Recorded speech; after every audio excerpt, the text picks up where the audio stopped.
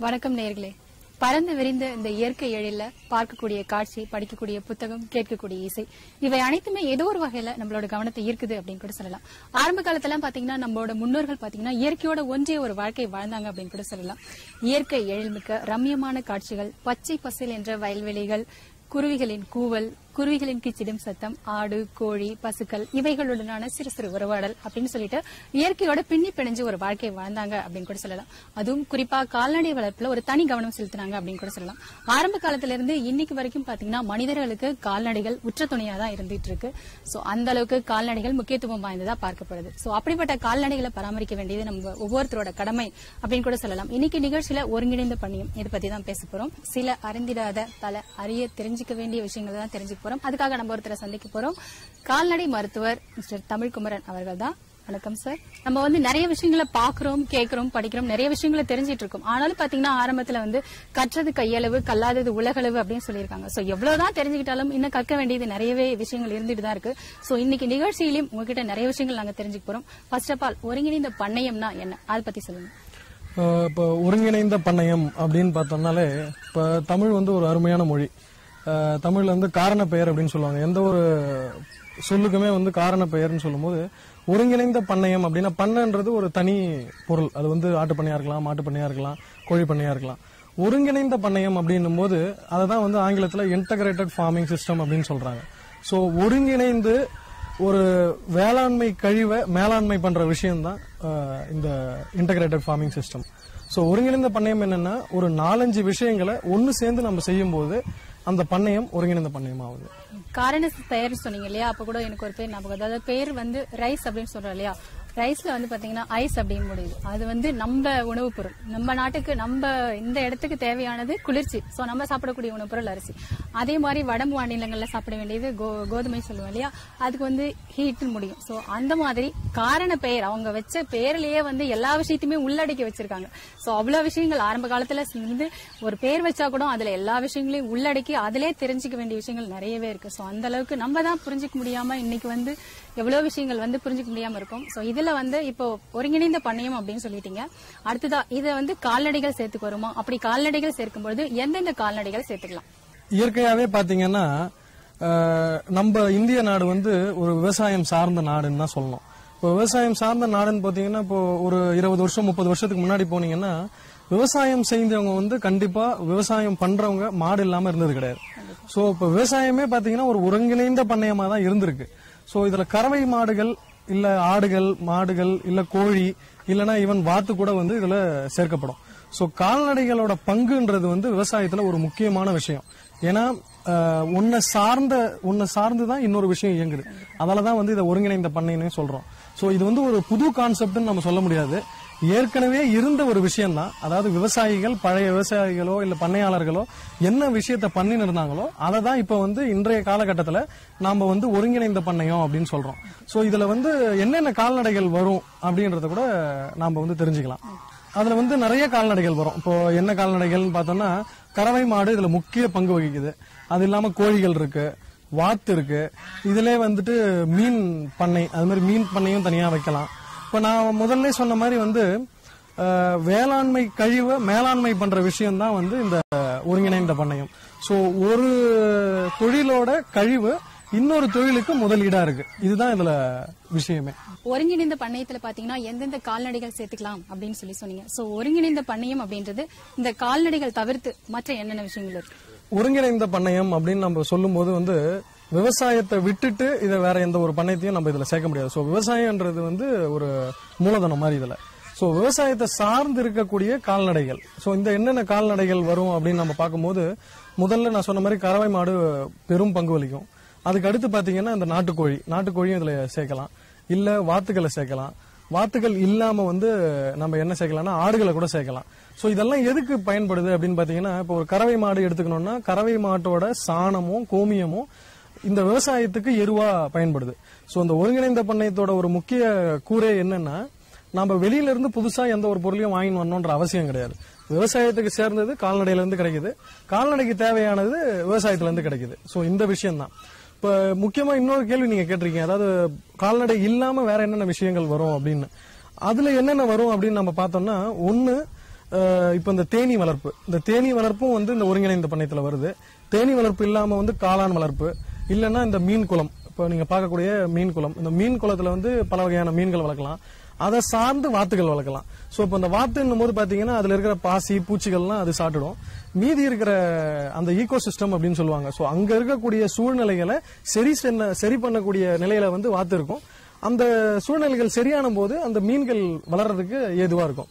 So இப்போ ஒரு ஒருங்கிணைந்த பண்ணையம் அப்படின்னு பார்க்கும்போது ஒரு சைடில் வந்து பார்த்தீங்கன்னா விவசாயம் நடக்கும். இன்னொரு சைடில் கறவை மாடு வச்சிருப்பாங்க. அங்கேயே வந்து கோழிகளும் வச்சிருப்பாங்க வாத்தும் வச்சிருப்பாங்க. இப்போ மீன் குளமும் வச்சிருக்காங்க அப்படின்னு நீங்கள் பார்த்தீங்கன்னா மாடுலேருந்து வரக்கூடிய அந்த எருவானது அது சாணமோ இல்லை கோமியமோ இதை வந்து நிலத்திலையும் உரமாக போடலாம். கொஞ்சம் மீறதை எடுத்து நம்ம மீன்கள் இந்த குட்டைகளுக்கு வந்து அந்த சூ- சூழ்நிலையை கிரியேட் பண்ணுறதுக்கு இங்கேயும் எருவாக போடலாம். இல்லைன்னா மண்புழு உரம் அதை கூட நம்ம உற்பத்தி பண்ணலாம். ஸோ அதாவது ஒரு விஷயத்தை வச்சு நம்ம வந்து பல உற்பத்தி திறனை கொண்டு வரோம். அதாவது நம்ம வெளியில இருந்து எதையும் நாட தேவையில்ல. நம்ம வச்சிருக்கிறதுக்குள்ளேயே நம்ம வந்து உற்பத்தி பண்றது தான் வந்து இந்த ஒருங்கிணைந்த பண்ணையம் ஒருங்கிணைந்த பண்ணையம் வந்து ஒரு சுழற்சி முறை அப்படின்னு சொல்லியிருக்கீங்க. அதாவது வாழ்க்கை ஒரு வட்டம்னு சொல்லுவாங்க. சோ அந்த அளவுக்கு சுழற்சி சுழற்சி முறையில இருக்கு அப்படின்னு கூட சொல்லியிருக்கீங்க. அடுத்ததா இந்த ஒருங்கிணைந்த பண்ணையத்தோட இயக்கம். அதை பத்தி கொஞ்சம் தெளிவா சொல்லுங்க. இப்ப இந்த ஒருங்கிணைந்த பண்ணையத்தோட இயக்கம் அப்படின்னு நம்ம பாக்குறோம் அப்படின்னு பாத்தீங்கன்னா இப்ப இதுல வந்து ஒரு அஞ்சு விஷயமாவது இருக்கணும். இல்ல குறைஞ்சபட்சம் ஒரு ரெண்டு விஷயமாவது இருக்கணும். இப்போ இப்ப இங்கேயே இருக்கிற மாதிரி இந்த மீன் குட்டையை பாத்துக்கிட்டீங்கன்னு வச்சுக்கோங்களேன். இப்ப நாம வந்து ஒரு கறவை மாடு இருக்கிற பண்ணை. அந்த கறவை மாடுக்கு தேவையான வந்து பசுந்தீவன உற்பத்தி பிளஸ் வந்து இந்த மீன் குட்டை அப்படி இருக்கு அப்படின்னும் போது இப்போ அதுல வந்து நம்ம ஒரு காய்கறி வளர்க்குறோம் இல்லைன்னா வந்து ஒரு பழ வகைகள் வளர்க்குறோம் இல்லைன்னா வந்து ஈவன் வந்து நம்ம நீங்க சொன்ன மாதிரி அரிசியே வளர்க்குறோம் அப்படின்னு சொல்லும்போது அதுக்கு தேவையான உரம் எங்கிருந்து வருது அப்படின்னும் போது இந்த மாட்டுகள்ல இருந்து வருது. சோ இயக்கம் எப்படின்னா இப்ப உடல் உழைப்புன்றது அந்த பண்ணையாளரோட உடல் உழைப்பே அங்கிருந்து வருது. ரெண்டாவது விஷயம் என்னன்னா அதுல இருக்கிற விஷயங்கள் என்னன்னு பார்த்தோம்னா இப்ப அந்த கறவை மாட்டோட சாணத்தை நம்ம எடுத்து அந்த சாணத்தையே வந்து ஒரு மண்புழு உரமா மாத்தி அந்த மண்புழு உரத்தை எடுத்துன்னு போய் இந்த காய்கறி வளர்க்கறதுலயோ இல்ல வந்து இந்த அரிசி அறுவடை பண்றதுலயோ அந்த நிலங்கள்ல நம்ம போட்டோம்னா இது எருவா பயன்படுது. அதே சமயத்துல அந்த உற்பத்தி முடிஞ்ச பிறகு அதுல இருந்து கிடைக்கக்கூடிய அந்த வைக்கோல் இல்லனா வந்து இந்த நெல்லுல உமி இதெல்லாம் வந்து மாட்டுக்கு தீவனமா அமையுது. சோ இயக்கமே என்னன்னு பாத்தீங்கன்னா ஒரே ஒரு பண்ணையாளர் அவர் வச்சிருக்கிற பண்ணையில பல விஷயங்களை ஒருங்கிணைக்கும் போது ஒண்ணுல இருந்து இன்னொரு விஷயத்துக்கு அது லாபகரமா இருக்கு. அப்ப இதுல வந்து வேஸ்டேஜ்ன்றது கம்மியாயிடுது. சோ இப்ப இந்த எருவையும் சாணத்தையும் நம்ம எங்க சார் போடுறதுன்னு கேள்வி கேட்காம அந்த எருவையே வந்து நம்ம உரமா மாத்தி அந்த உரத்தை வந்து மண்புழுவோட உதவியோட அதை மண்புழு உரமா மாத்தி அதை வந்து நம்ம ஒரு இயற்கை வேளாண்மை அப்படின்னு சொல்றோம் இப்ப வந்து ஒருங்கிணைந்த பண்ணையம்ன்றது இயற்கை வேளாண்மைன்ற போக்கில் கூட போயிட்டு இருக்கு ஏன்னா இப்ப இப்ப எல்லாருமே பாத்தீங்கன்னா இயற்கை சார்ந்த ஒரு வேளாண்மை பண்ணணும் அப்படின்னு தான் யோசிச்சுட்டு இருக்காங்க சோ இயற்கை சார்ந்த வேளாண்மை அப்படின்னும் போது நமக்கு வந்து இந்த ஃபெர்டிலைசர் அப்படின்னு சொல்லக்கூடிய அந்த அதோட பயன்பாடே இல்லாம எப்படி வந்து ஒரு பண்ணையம் பண்ணலாம் இல்ல ஒரு வேளாண்மை பண்ணலாம். அப்படின்னும் போதுதான் இந்த மண்புழு உரங்கள் வருது. ஈவன் வந்து இந்த பஞ்சகாவியம் அப்படின்னு சொல்லுவோம். அந்த பஞ்சகாவியம்ன்றது என்னன்னா மாட்டுல இருந்து வரக்கூடிய அஞ்சு பொருட்கள். அது வந்து ஒன்னு சாணம் இன்னொன்னு கோமியம் இன்னொன்னு பால் வெண்ணெய். அது இல்லாம வந்து தயிர். சோ இது அஞ்சையும் மிக்ஸ் பண்ணி கூட வந்து நாட்டு சர்க்கரை வெல்லம் அப்படி இல்லைன்னா வந்து வாழைப்பழத்தை கூட சேர்த்துக்குவாங்க. ஸோ இதையும் சேர்த்து புளிக்க வச்சு இதையே வந்து அந்த காலத்தில் வந்து நேச்சுரல் பெஸ்டிசைடாக யூஸ் பண்ணியிருக்காங்க ஸோ இயற்கையாகவே வந்து அந்த பூச்சிக்கொல்லிகளாக இதை யூஸ் பண்ணி இதில் ம- இருக்கிற மருத்துவ குணத்தை வச்சு இது மூலியமா கிடைக்கக்கூடிய ஒரு நெல் அறுவடைய நெல்லை பயன்படுத்திக்கிட்டு நெல்லில் இருக்கிற உமியை வந்து மாட்டுகளுக்கு வந்து தவிடாவும் தீவனமாகவும் மீதி வைக்கோல கூட தீவனமாகவும் கொண்டிருக்காங்க ஸோ ஒரு இடத்துல இருந்து கிடைக்கக்கூடிய பொருள் இன்னொரு இடத்துக்கு உதவியா இருக்குது. ஸோ இது வந்து ஒரு சுழற்சி முறை தான் ஸோ மாட்டிலிருந்து விவசாயத்துக்கு போதும் விவசாயத்துலேருந்து மாட்டுக்கு வருது. இதுதான் இது வந்து பார்த்தீங்கன்னா இது ஒரு நாலஞ்சு காம்பனன்ட் நம்ம சேர்க்கும் போது ஒவ்வொன்றும் ஒவ்வொன்றும் கூட இன்டர்லிங்கடாக இருக்கும். ஸோ அந்த இயக்கம் தான் வந்து நமக்கு வந்து மூலதனம். இந்த ஒருங்கிணைந்த பண்ணையத்தில் ஒருங்கிணைந்த பண்ணையம் அப்படின்னு பாத்தீங்கன்னா அழகான ஒரு சுழற்சி முறையில போயிட்டு இருக்கு அப்படின்னு சொல்லி ரொம்பவே தெளிவா சொன்னீங்க. ஆரம்ப காலத்துல இருந்து இன்னைக்கு வரைக்கும் கூட பின்பற்றிட்டு இருக்காங்க அப்படின்னு கூட சொல்லலாம். சோ அந்த ஒருங்கிணைந்த பண்ணையத்தோட சிறப்பு இயல்புகள் அப்படின்னா என்ன சொல்லலாம்? ஒருங்கிணைந்த பண்ணையத்தோட இயல்புகள் அப்படின்னு பார்க்கும்போது இப்போ ஒரு உதாரணத்துக்கு நான் வந்து ஒரு சின்ன ஒரு ஒருங்கிணைந்த பண்ணையம் ஒரு உதாரணம் சொல்றேன். இப்போ வந்து ஒரு பெரிய பண்ணை இருக்கு. ஒரு ஒரு ஒரு அளவுல ஏக்கர்ல நமக்கு ஒரு பண்ணை இருக்கு அப்படின்னும் போது அந்த பண்ணையில வந்து நாம வந்து ஒரு காய்கறி விவசாயம் பண்றோம் அப்படின்னு நினைச்சுக்கோம் அப்ப அந்த காய்கறி உற்பத்தி பண்ணும்போது அந்த காய்கறிகளுக்கு தேவையான உரத்தை வந்து நம்ம இந்த மாடு மாட்டினோட சாணத்தின் மூலியமா தான் எடுக்கிறோம். இப்ப அங்கேயே வந்து நீங்க வந்து ஒரு தேனீ கூட்டம் ஒரு கூண்டு வைக்கிறீங்க அப்படின்னும் போது இந்த தேனீக்கள் வந்து நமக்கு தேன் எடுத்துன்னு வந்து கொடுக்கறது இல்லாம இன்னொரு விஷயம் பண்ணுது. அது என்னன்னா மகரந்த சேர்க்கை. சோ மகரந்த சேர்க்கை பண்ணும்போது நமக்கு மகசூல் அதிகமா கிடைக்கும். அந்த காய்கறிகளும் இன்னும் அதிகப்படியா உற்பத்தி ஆகும். சோ இயல்பே என்னன்னா ஒண்ணுக்கு ஒண்ணு இது கால்நடை நண்பன்ற பாணியில தான் போகும். அப்போ ஒரு ஒரு பண்ணையம் வந்து இன்னொரு பண்ணையத்துக்கான மூலதனமா இருக்கும்போது அதோட இயல்பு இயல்பாவே வந்து உங்களுக்கு உற்பத்தி திறனை கூட்டி கொடு- அதிகப்படுத்தி கொடுக்குது. இப்போ இந்த தேனீக்கள் இருக்கிறது வந்து நாம வந்து பார்த்தோம்னா சரின்னா அது தேனு தானே எடுக்க போகுது அப்படின்னு நினைப்போம். ஆனா அந்த பூக்கள்ல இருக்கிற மகரந்த சேர்க்கை மூலியமா என்ன ஆகும்னா அதோட உற்பத்தி திறனோ இல்ல வந்து மகசூலோ உற்பத்தி அஹ், அதிகமாவதுக்கான வாய்ப்புகள் இருக்கு. சோ இயல்பே என்ன அப்படின்னு பாத்தீங்கன்னா ஒண்ணுக்கு ஒண்ணு உதவுறது தான் வந்து இந்த ஒருங்கிணைந்த பண்ணையம். ஒருங்கிணைந்த பண்ணையம் அப்படின்னு பார்க்கும்பொழுது நிறைய விஷயங்கள் எல்லாராலையுமே செய்ய முடியாது. ஒரு சில கறவை மாடு மட்டும்தான் வளர்க்க முடியும். நிலம் இருக்கிறவங்க பாத்தீங்கன்னா அதோட ஓரியன்டா இருக்கக்கூடிய விஷயங்கள் செய்வாங்க. இதை தாண்டி உதவி அப்படின்னு கிடைக்கணும் அப்படின்னா உதவி என்னென்ன உதவிகள் அரசாங்கத்து மூலமா கிடைக்குது அதை பத்தி சொல்லுங்க. இந்த ஒருங்கிணைந்த பண்ணையம் வந்து இப்ப நான் முதவே சொன்ன மாதிரி இது ஏற்கனவே இருந்த ஒரு கான்செப்ட் தான் இப்ப புதுசா வந்துட்டு இருக்கு. சோ இதை ஊக்குவிக்கணும்.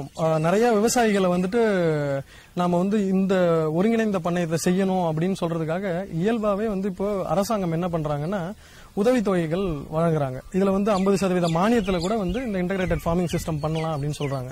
ஸோ இதுக்கு வந்து ஒரு விவசாயியா இருக்கிறவர் குறைஞ்சபட்சம் ஒரு ஏக்கர் நிலம் வச்சிருக்கணும். குறைஞ்சது அந்த ஒரு ஏக்கர் நிலம் அவர் பேர்ல இருக்கணும். ஸோ இந்த ஒரு கிரைட்டீரியா மட்டும்தான். அந்த ஒரு ஏக்கர்ல அவர் என்ன வச்சிருக்கலாம் அப்படின்னு பார்த்தா ஒரு பத்து வகையான இந்த ஒருங்கிணைந்த பண்ணையத்துல என்னென்ன வரணும்ன்றத அவங்க குறிப்பிடுறாங்க.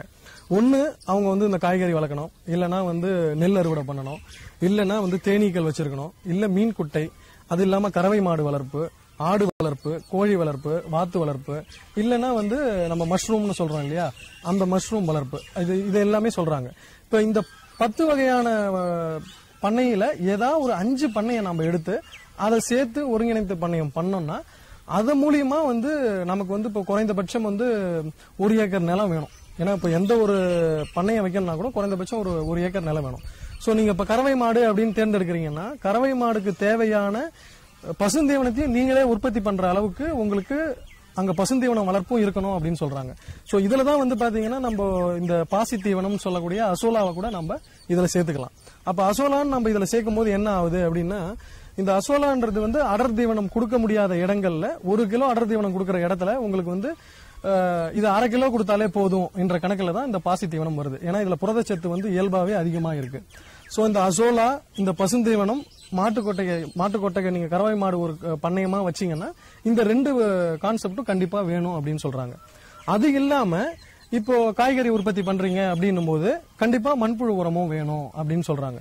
சோ இது எல்லாத்தையும் சேர்ந்து ஒரு அஞ்சு கான்செப்டை நீங்க ஒருங்கிணைந்து பண்ணும்போது குறைந்தபட்சம் வந்து இப்போ உங்களுக்கு இது- இதுக்கான செலவு. இந்த ஒரு ஏக்கர்ல நீங்க இந்த அஞ்சு பண்ணையத்தையும் ஒருங்கிணைந்து பண்றதுக்கு உங்களுக்கு ஒரு பத்து லட்ச ரூபா செலவாகுது அப்படின்றத நீங்க அரசாங்கத்திட்ட காட்டுனீங்கன்னா உங்களுக்கு அஞ்சு லட்ச ரூபா வந்து அவங்க நேரடியாவே உங்க கணக்குல வந்து அவங்க போடுறாங்க. சோ அரசாங்கம் செய்யக்கூடிய உதவி என்னன்னா பத்து லட்ச ரூபா செலவு செய்து நீங்க வந்து ஒரு ஒருங்கிணைந்த பண்ணையம் செய்ய போறீங்க அப்படின்னா அதுல உங்களுக்கு ஐம்பது சதவீத மானியம் வந்து அரசாங்கம் வழங்குறாங்க. இதுதான் வந்து அரசாங்கத்து மூலியமா கிடைக்கக்கூடிய உங்களுக்கான ஒரு பெரும் உதவின்னு நம்ம சொல்லலாம். ஒருங்கிணைந்த பணையத்துக்கு பாத்தீங்கன்னா அரசாங்கம் எந்த அளவுக்கு உதவி செய்து அப்படின்னு சொல்றீங்க. சோ இதுல இன்னும் கவனிக்க வேண்டிய விஷயங்கள் என்னென்ன இருக்கு? அரசாங்கம் உதவி செய்தாலும் கூட நாம கவனிக்க வேண்டிய விஷயங்கள் என்ன? நாம பின்பற்றக்கூடிய விஷயங்கள் என்ன? ஏதாவது உதாரணம் சொல்லுங்க. உதாரணத்துக்கு நம்ம வந்து ஒரு ஒருங்கிணைந்த பணத்தை ஒரு எக்ஸாம்பிளாவே எடுத்துக்குவோம்.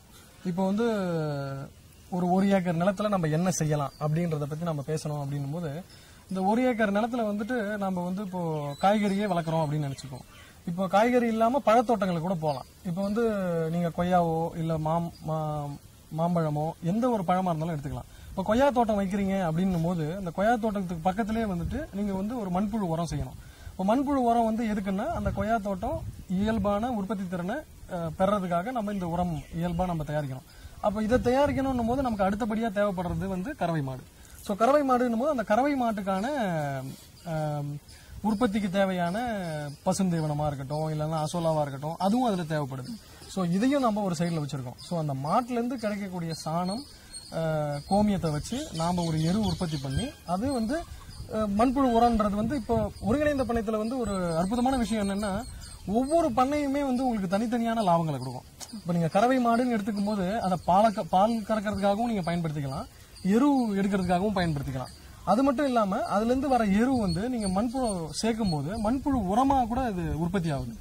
ஸோ இந்த மண்புழு உரமே வந்து உங்கள் நிலத்துக்கு போகிறது இல்லாமல் அதிகபட்ச அதிகபட்சமாக நீங்கள் உற்பத்தி பண்ணும்போது அந்த மண்புழு உரத்தை கூட நீங்கள் விற்கலாம் ஏன்னா வந்து இப்போ இயற்கை வேளாண்மை பண்ணுறதுக்கு நிறைய விவசாயிகள் முன் வராங்க. அப்படின்னும் போது இந்த இயற்கையாக மண்புழு உரம் நீங்கள் உற்பத்தி பண்ணுறீங்கன்னும் போது அதுவும் வந்து உங்களுக்கு தனியாக வந்து ஒரு லாபத்தை தருது.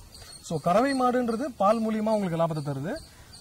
மண்புழு உரம்ன்றது உங்களுக்கு வந்து அந்த மண்புழு உரம் மூலியமாகவே வந்து உங்களுக்கு லாபத்தை தருது.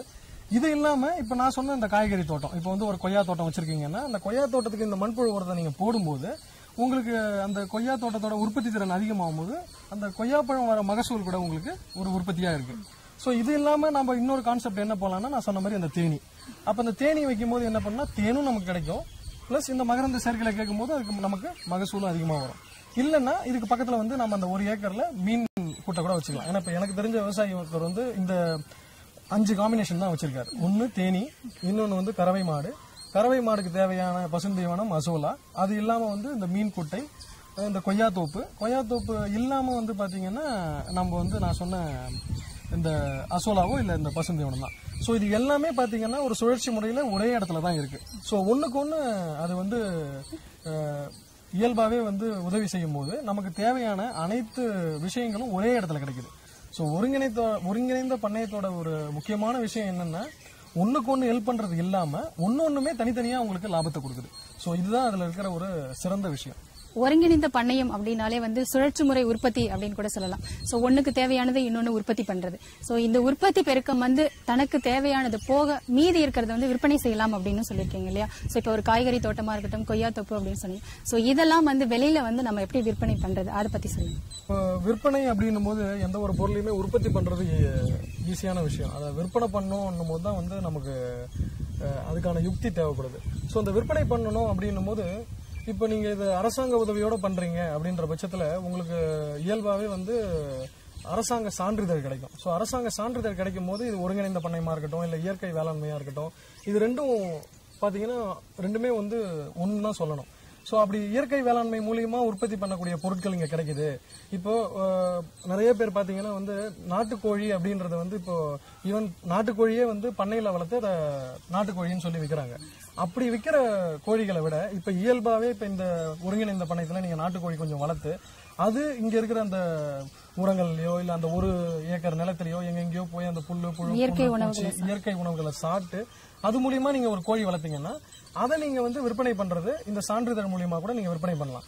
இப்போ நீங்களே வந்து அந்த கவர்மெண்ட்ல கொடுத்த போஸ்டர் இல்லாம நீங்களும் வந்து அந்த போஸ்டர் நாங்க வந்து இது இயற்கை மூலியமா உற்பத்தி பண்றோம் அப்படின்னு சொல்லிட்டு சந்தையில நீங்க வந்து அதை சந்தைப்படுத்துனீங்கன்னா கண்டிப்பா அதுக்கான விற்பனை காசுன்றது அதிகமாக தான் இருக்கும். ஏன்னா இப்போ எல்லாருமே வந்து அந்த ஃபெர்டிலைசர் இல்லாமல் கெமிக்கல் கலக்காமல் இருக்கிற வந்து காய்கறியாக இருக்கட்டும் பழங்களாக இருக்கட்டும் ஈவன் வந்து கறி கறியாக இருக்கட்டும் முட்டையாக இருக்கட்டும் இது எல்லாமே வந்து பார்த்திங்கன்னா இயற்கை முறையில் இருந்தால் தான் அதிகமாக வந்து வாங்கி சாப்பிட்ணும் அப்படின்ற ஒரு விழிப்புணர்வு இப்ப மக்கள் மத்தியில அதிகமா பரவிட்டு இருக்கு.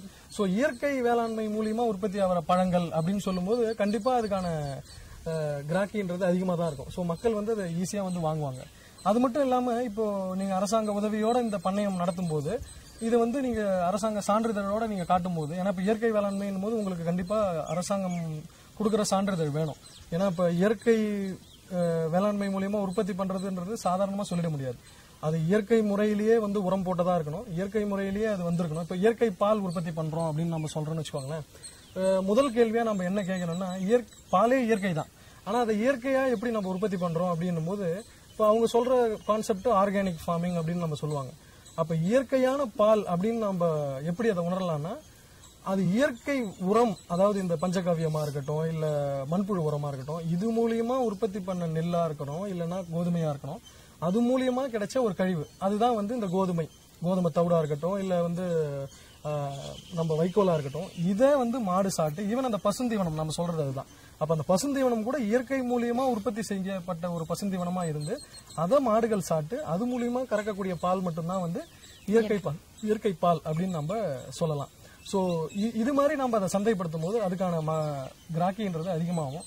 ஸோ ஒருங்கிணைந்த பண்ணையம் மூலயமா நம்ம எந்த ஒரு பொருளை விற்றாலும் நம்ம வந்து அரசாங்க சான்றிதழ் இருக்கிறதால கண்டிப்பாக வந்து இப்போ ஒரு ஒரு லிட்டர் பால் வந்து முப்பத்தாறு ரூபான்னும் போது நீங்கள் ஒருங்கிணை பண்ண ஒருங்கி ஒருங்கிணைந்த ஒருங்கிணைந்த பண்ணையம் மூலியமா உற்பத்தி பண்ணக்கூடிய பால் வந்து கூட ஒரு நாலு ரூபாயோ இல்லை அஞ்சு ரூபாயோ கொடுத்து வாங்குற அளவுக்கு மக்கள் கண்டிப்பாக தயாராக இருப்பாங்க.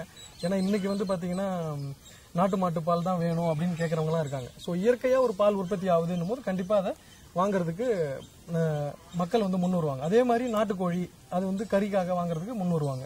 நாட்டுக்கோழின்னும் போது நாட்டுக்கோழி முட்டை அப்படின்னும் போதும் இயற்கை முறையில் உற்பத்தி பண்ணாங்கன்னா கண்டிப்பாக நீங்கள் அதை சொல்லும் போது உங்களுக்கு அதுக்கான ம- மகசூலோ இல்லை வந்து அதுக்கான லாபமோ கண்டிப்பாக வந்து கிடைக்கும். ஸோ ஒருங்கிணைந்த பண்ணை மூலயமா எந்த ஒரு பொருள் உற்பத்தி செஞ்சாலும் அதை நீங்கள் வாங்கும்போது உங்களுக்கு அதுக்கு தேவையான அனைத்து இயற்கை சார்ந்த விஷயங்களும் வந்து அந்த பொருளில் கிடைக்குது. அது பழமாக இருக்கட்டும் காய்கறிகளாக இருக்கட்டும் இல்லைன்னா வந்து கறியாக இருக்கட்டும் முட்டையாக இருக்கட்டும். ஸோ ஒருங்கிணைந்த ஒருங்கிணைந்த பண்ணையத்தை நம்ம வந்து கண்டிப்பாக ஊக்குவிக்கணும். மக்களுக்கு அதுக்கான விழிப்புணர்வை நம்ம போதுமான அளவுக்கு தகவல் கொடுத்துட்டோம்னு நினைக்கிறேன். ஸோ இதெல்லாம் அவங்க பின்பற்றினாங்கன்னா கண்டிப்பாக வந்து அவங்க இயற்கை வேளாண்மை மூலியமாகவும் ஒருங்கிணைந்த பண்ண பண்ணையம் மூலியமாகவும் அவங்க பல பொருள்களை உற்பத்தி பண்ணலாம்னு நினைக்கிறேன். இது வரைக்கும் பாத்தீங்கன்னா ஒருங்கிணைந்த பண்ணையம்னா என்ன? நம்ம என்னென்ன செய்யணும்? நம்மளுக்கு செய்ய முடியாத விஷயங்கள் அரசாங்கத்திலிருந்து எவ்வளவு உதவி கிடைக்குது? அந்த வகையில நிறைய விஷயங்கள் சொன்னாங்க. ஒரு ஏக்கர்ல எவ்வளவு செய்யலாம்? என்னென்ன செய்யலாம்? அப்படின்ற அளவுக்கு கூட ஐடியா கிடைச்சிருக்கும்னு நினைக்கிறேன். சோ சிந்திக்க தெரிந்தவனுக்கு ஆலோசனை தேவையில்லை. வாழ்க்கையில் துன்பங்களை சந்திக்க தெரிந்தவனுக்கு சோதனையே இல்லை அப்படின்னு சொல்லி சொல்லுவாங்க. சோ அந்த அளவுக்கு நம்ம ஒரு விஷயத்தை ஆ- ஆரம்பிக்கும் போது முழு மனசோட அதை புரிஞ்சுக்கிட்டு அதை ஏத்துக்கிட்டு நம்மளால முடியும் அப்படின்ற நம்பிக்கையோட ஆரம்பிச்சோம் அப்படின்னா நிச்சயமா அதுல வெற்றி பெற முடியும். சோ ஒருங்கிணைந்த பண்ணையம் செய்யும் பொழுது அதுல முழு மனசோட இறங்கணும் அப்படின்னா அது சுழற்சி முறையில நிச்சயமா ஒன்னோட ஒன்னு வெற்றி தான் நமக்கு கொடுக்கும். சோ அதை நோக்கியே பயணிப்போம். நன்றி வணக்கம்.